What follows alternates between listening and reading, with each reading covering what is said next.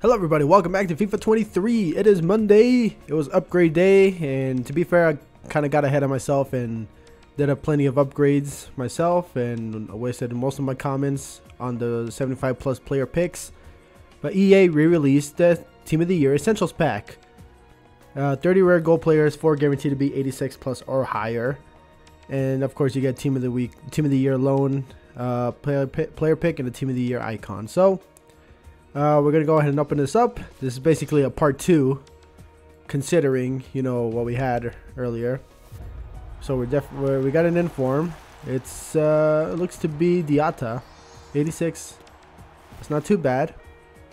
Though what can we expect from this pack? Mm, Erling Haaland. That's good. There was also a vote for who's going to be the next team of the year, the 12th man, and I'm thinking Haaland's going to be the guy. Uh, I think that's pretty much it.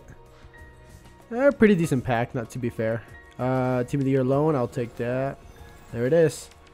Already got Bellingham, so I'm gonna take. Um, I'll take Modric.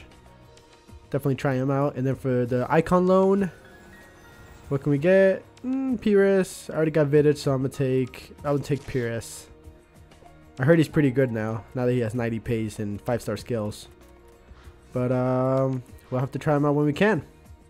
But if you guys like this video, leave a like, comment, subscribe, and I'll catch you all next time. See ya.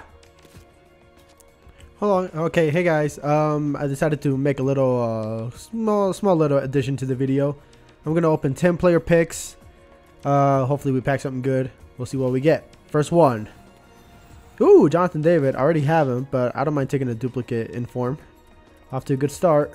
Here we go. Number two. Uh, okay, 80. Uh, typically, uh, these are not really good, especially if they're 75 plus, but in the interest of trying to get some more rares and stuff like that, then, you know, it's, not, it's worth a try. And, you know, for the most part, it actually does come out with good fodder, so, you know, definitely give this a shot. There we go, a couple of 83s. Uh, next one. Give me a team of the year. You know you wanna. Give me, give me Modric. Give me, Be give me Bellingham. Give me De Bruyne. Whatever, whatever whichever team of the year you give me, I'm going to be happy with. Don't mind any of them. You give me Ashkan. Alright, cool. Next one is Modric. Cool. Um, but yeah, typically these are not like super cool or anything like that, but it's it's at least a good way to get fodder if you have all those um, commons. And if you are going to spend 500 FIFA points on the provisions pack, you're more than welcome to do so but 100 100k for those ones not worth it not worth it. So yeah. That being said uh, leave a like comment subscribe and i'll catch you all next time. See ya